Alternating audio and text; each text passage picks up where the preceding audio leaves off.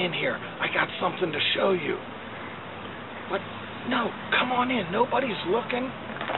Yeah, it's all safe. I've gotta show you this plant. It's really new and cool. It's an oak leaf hydrangea called Ruby Slippers, and we're gonna promote this. And I feel like telling you about it before we put them out there by that flat Fred thing we got. Now, this is a wonderful new oak leaf hydrangea that stays smaller than most oak leaves. Its flower is nice and long, and it goes from white to pink like most hydrangeas, but then it goes to a deep ruby red like Dorothy's slippers. And there's no place like your home to have one. No place like your home.